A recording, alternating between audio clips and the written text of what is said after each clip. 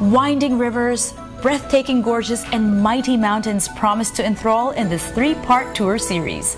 Join us for more here in China Panorama.